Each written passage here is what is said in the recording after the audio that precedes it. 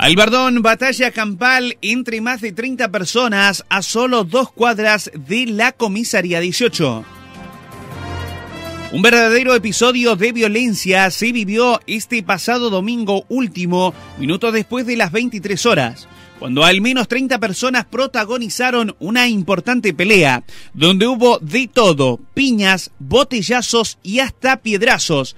Nadie sabe el origen del enfrentamiento, pero se estima que se trataría de dos bandas de jóvenes quienes disputaron una verdadera batalla campal, irrumpiendo la tranquilidad de los vecinos que viven en calle Mitre entre Independencia y Salvador María del Carril, a solo dos cuadras de la comisaría departamental.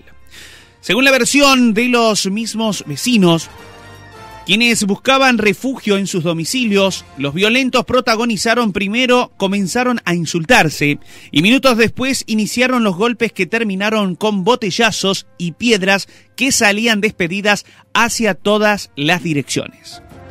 La policía tardó 50 minutos en llegar.